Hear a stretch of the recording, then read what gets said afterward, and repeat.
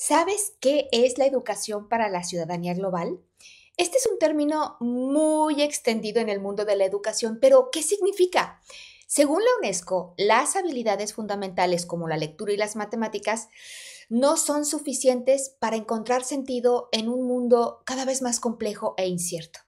La educación para la ciudadanía global busca proveer a todos los que conforman la comunidad educativa con el conocimiento, las habilidades y las actitudes que cultiven la tolerancia, el respeto y un sentido compartido de pertenencia a una comunidad global con el fin último de asegurar los derechos humanos y la paz.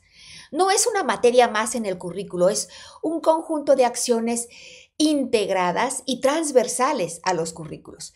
Si ya estás trabajando la ciudadanía global en tu escuela, Cuéntanos cómo le haces, comenta y continuemos la conversación.